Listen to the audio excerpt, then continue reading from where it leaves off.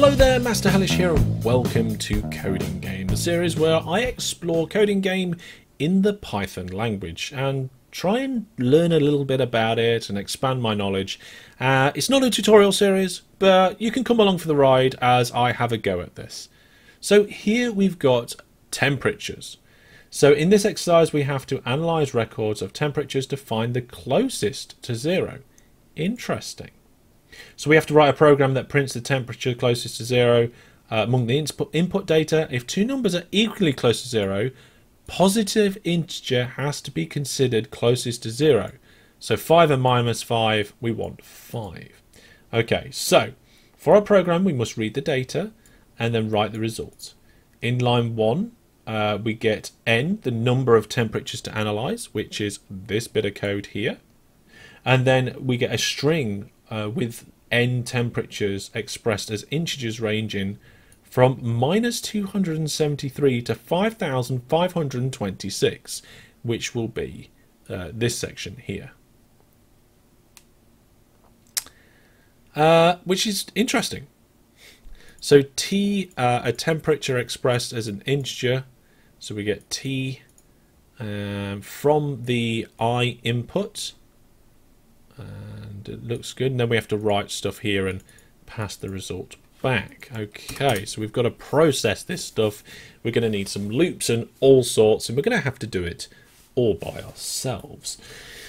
Right then, so what we're going to do with this, uh, let's just really make sure we understand exactly what's going on here. So we're going to get so many inputs. So we're going to need some sort of loop that goes around n number of times, because that's the number of temperatures we have to analyze. And then we end up with this loop here for i input. So we get an input and we split it, so the, the different splits. Uh, we get this variable i as a string, which we turn into an integer and store as t. Hmm. I guess we're going to then have to get that t and put it somewhere in some sort of array so we're going to have to uh, work with that array to work out what's better.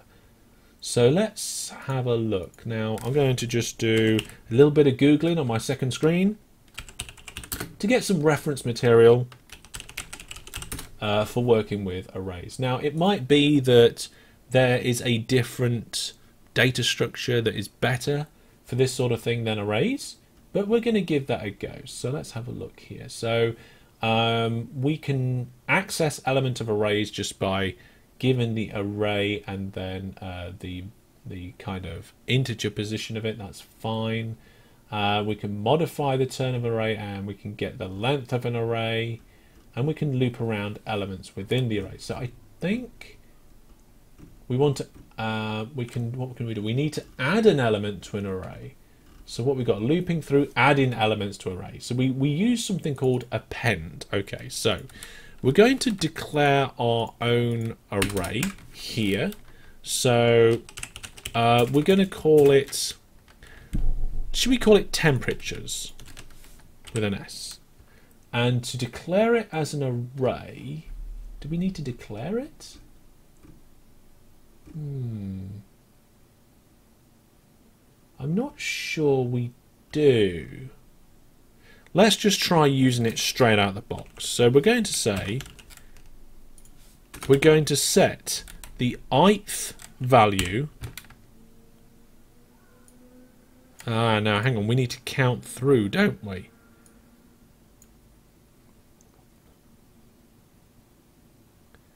T becomes equal for that I within the input split. So do we need to count through them? Hmm. Hang on a minute. This input, this, uh, here, this input is already an array. So can I just go like temperatures becomes equal to this input?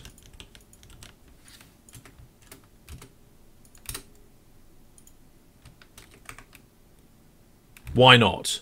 Why not? That that seems to work. Right. Right, okay. Hmm.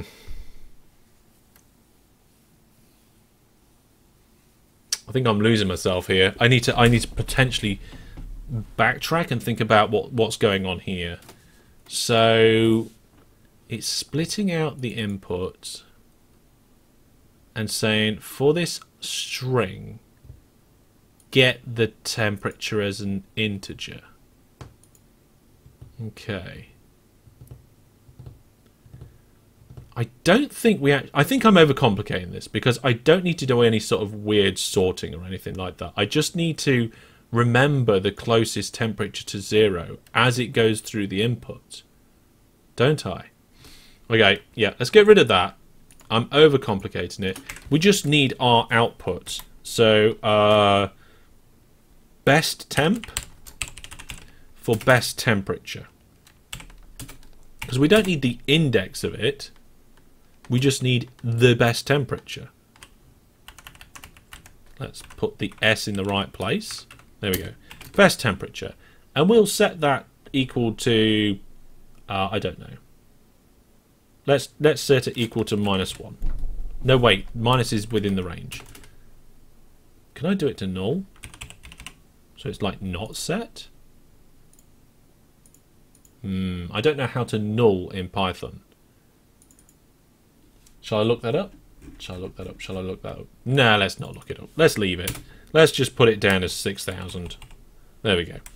So what we need to do now, we need to say, is T, the new temperature, better than the best temp? So we'll say, if T is, um, hmm,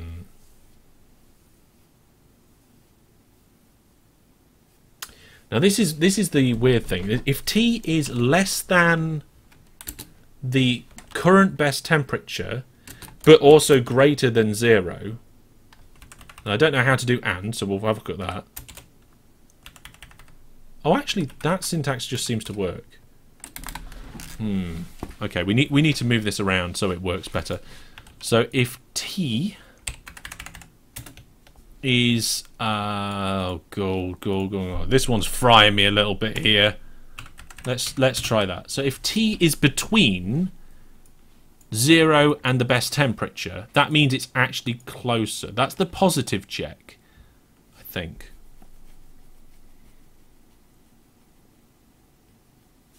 And then then our best temperature just becomes T. Doesn't it? And then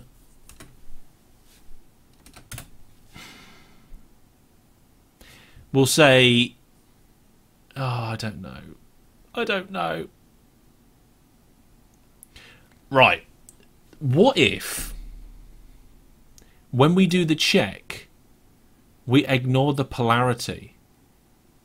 No, because if we ignore the polarity, then we, if two temperatures are the same, then we're not going to be able to do that. Okay, so if this temperature is greater than zero, but also less than the best temperature, then we set it as the new best temperature. That works for positive numbers. Then we'll say if the temperature is less than zero,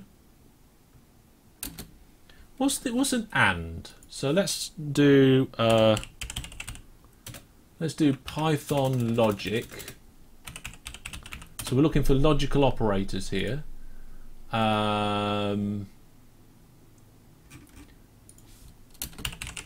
logical operators. Just Google that, and it says uh, we need what, what's and. So we've got the arithmetic operations, assignment oper operations, and we've got less than equal to oh it's just the word and so if if t is less than zero we know it's negative don't we? So that's cool.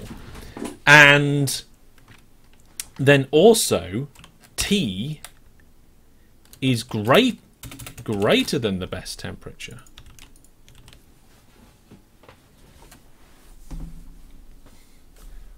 Then the best temperature becomes T. And we're going to say if T is greater than 0 and T is less than the best temperature, then the best temperature becomes T. Now, this might do it, but I'm not sure about my logic here. I need to work this in my mind and make sure I've got it right.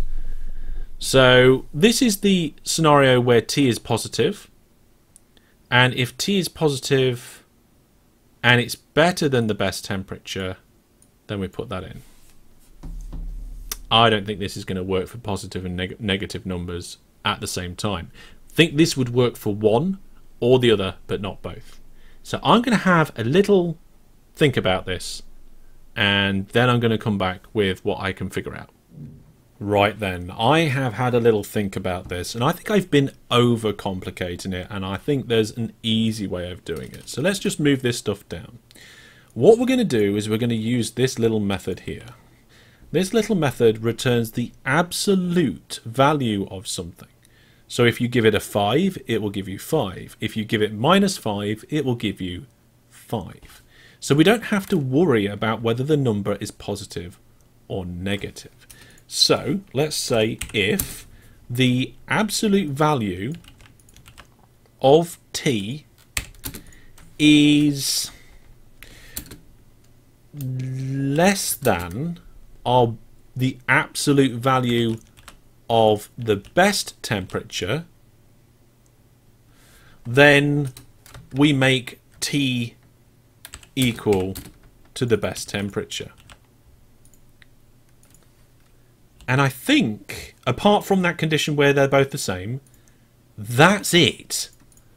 Okay, we can get rid of all this rubbish here. We can put that this side of the comment so it's in the right place. And that's all we have to worry about. That will say, okay, this value that I've got here, it could be 4. Is that less, so closer to 0, than the best temperature we've had so far, which might be 5? If it is less, then we set that one in. And we don't use the absolute version of T here because we actually we want to keep that best temperature and then that is what we return. So this will work but it won't work necessarily if both temperatures are negative because we want to display the positive one in that particular scenario. So what we're going to do is we're going to add an extra test case. We're going to say if the absolute T is the same as the best temperature. Uh, we need double equals for equals to. And T is greater than zero. So if it's positive, then we want our best temperature to become equal to T. And the reason for that is that we we are not worried about whether it's positive or negative in this first comparison. In this first comparison, we just say, look, let's see how far away from zero it is, whether it's positive or negative, and just take the lowest one we've got. Then we just need to go, well, actually, if they're the same and our current one is positive, that's the one we want. So we just pop that in there. And there we go. So this comparison will work for any value which is not the same, both positive and negative, and this test will work for anything where it is exactly the same. And then we pass that best temperature back. See, I knew there would be, or I thought there'd be a relatively straightforward way of doing it.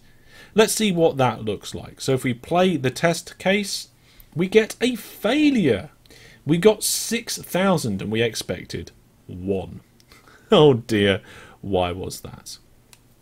Let's have a look. Maybe we've got some polarity the wrong way around here. So uh, we want to say if... Yeah, I, this, I think we got the wrong way around here. So we want to say that if our temperature is less than the best temperature, then set then set best temperature equal to T. Silly me. That's the bit that was wrong. It wasn't the polarity of our greater than or equal than sign. It was the fact that we was assigning the values the wrong way around here. There we are. That was a bit of a bug to work out.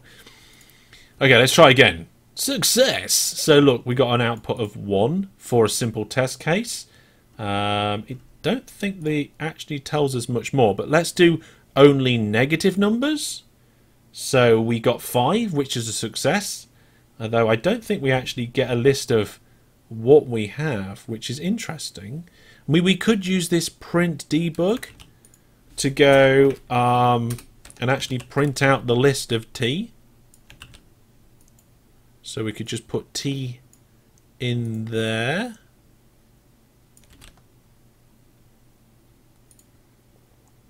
So you can see that we get uh, the debug output there. So we get uh, minus 12, minus 5, minus 137, and it says 5. Can we increase the size of that? No, it's just the entire screen. Okay, never mind. Let's do the right temperature. So here we've got 42, minus 5, 12, 21, 5, and 24. And we correctly choose 5. So this second condition here is kicking in and choosing that positive 5 over the negative one we've already got. We've got another one here, choose the right temperature, 2, and it does the same again there. So we've got the positive 5 first, then the negative 5, and we output the 5. Complex test case, so we've got quite a few different values there, and we come out with 2, which is correct. No temperature. Interesting. Okay, so look here. Uh, we need to display 0 if no temperatures are provided. We forgot about that completely skipped over it. So what I think we should probably do is just set best temperature to zero in the first place. That means that um, we'll be alright then for this particular test case. Let's try that again. And it's a su success because if we don't loop through this section, we only loop through this section if there is um, valuable uh, valuables values to split. If there's no split, that 4 is no loops, and we just put out the best temperature straight away, which is 0. And that is all of those test cases. We can just do play all, and oh my goodness, look at this. Look at this. We've got a failure on the first case now. This is why you need to retest everything when you make a change. So here we've got a standard output where we get minus one, uh, we get one, minus two, eight, four, five, and we've output zero. Interesting. I wonder why. Ah, of course, because our best temp uh, is zero, so that's that's going to be the best thing that we want, and that's no good. Right. Having it as 6,000 was required for the way that we're doing it to work. What we need to do then is just say at the end of this, if it's still 6,000, if best temperature is still equal to 6,000, we'll just say, well, actually, just, just set it to zero. And that will do the job. Uh, it doesn't like that. Why doesn't it like that? Oh, set it to zero. We need an equals in there. There we go. So uh, this little condition here deals with if we've got no test cases. There's probably a different way round to work this so that we don't have to set it to one thing and then switch it back afterwards. But for now, I think that should work. Let's try that again. So that's a success. That one's a success. And if we do play all test cases, we can see that it skips through them all and they're all a success. There we go. We, we got there in the end. So the for me, the trick from this one was using the absolute function to get uh, the uh, value the like the scalar, scalar value of that, which was good, and we had to add a little condition in for a particular unique scenario. But there we go. We can submit that and we get our report back going, yes, 100%, we know a little bit about arrays, loops and conditions now.